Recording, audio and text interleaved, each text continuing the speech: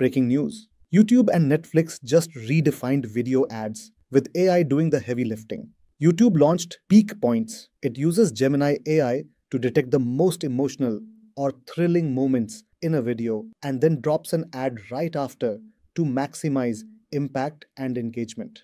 Netflix isn't staying behind, it's building AI generated ads that visually blend into shows using branded backgrounds inspired by its own content. Expect mid roll and pause ads with interactive calls to action coming later this year.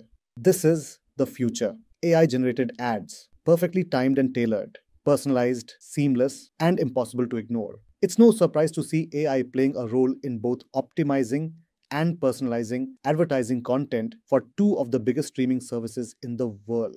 Eventually, AI systems will likely be generating ad content on the fly, perfectly tailored to the viewer and perfectly placed for maximum effect. Share your thoughts on this.